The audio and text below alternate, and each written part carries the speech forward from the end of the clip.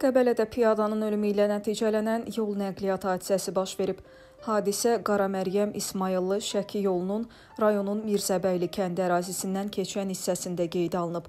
Belə ki, 1986-cı il təvəllüdlü Eldəniz İsmailov idarə etdiyi Toyota markalı avtomobillə hərəkətdə olarkən yol kənarında dayanan 2000-ci il təvəllüdlü Adıgözəlov İsmail Ramiz oğlunu vurub.